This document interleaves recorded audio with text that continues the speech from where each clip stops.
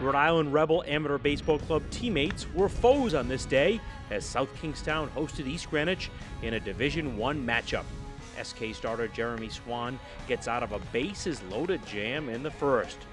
EG and Rhode Island Rebel star catcher Scott Cullinane, headed for Trinity, shows he's not a slow footed catcher. Cullinane, the stolen base, he would score the first of his four runs on the day on the infield base hit.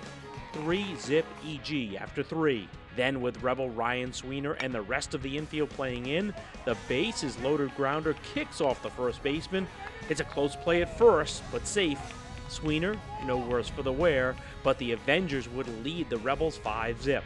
Cullinane scoring again.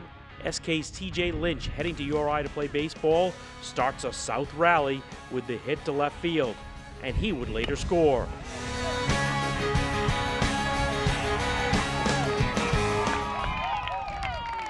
But Cullinane, another hit, and he would score to get the advantage back to 7 1.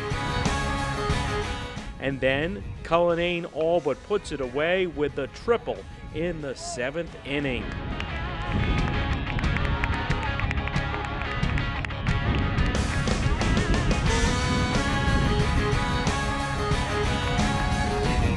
South trying to rally. Lynch takes one for the team with the bases loaded, 9 2. Then Sweener works the bases loaded walk. But that was the end of the damage as East Greenwich goes on for the 9 3 win. I'm Don Coyne reporting.